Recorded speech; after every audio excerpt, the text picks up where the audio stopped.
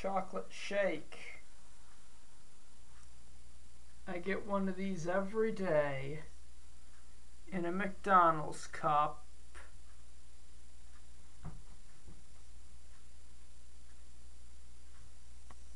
Kind of reminds you of uh, those old timey chocolate malt milkshake things from the 50s.